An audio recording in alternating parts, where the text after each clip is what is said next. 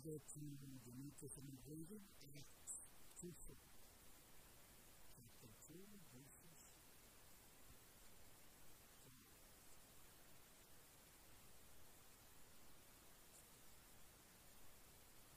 And they were all filled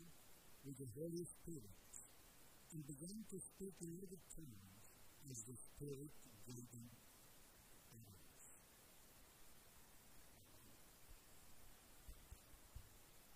المسيح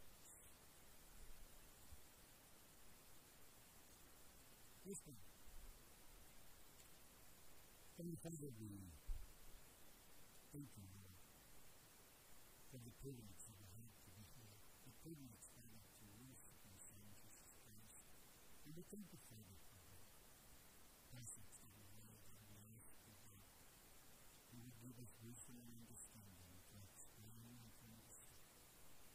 even when we know that